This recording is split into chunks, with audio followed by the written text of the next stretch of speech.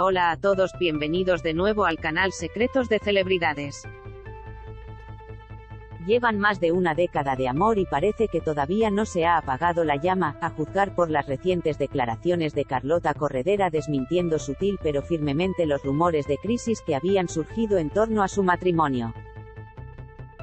La presentadora se casó en 2013 con Carlos de la Maza, el discreto cámara que conquistó su corazón y con quien ha formado una familia. Él es, además, quien saca a la luz la faceta más romántica de Carlota, quien si bien suele ser bastante reservada, en más de una ocasión no ha podido resistirse a gritar su amor a los cuatro vientos. ¿Quieres conocer mejor a Carlos? Dale al play y no te lo pierdas.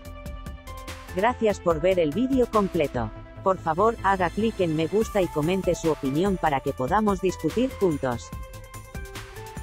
Nos vemos en los próximos videos. Adiós.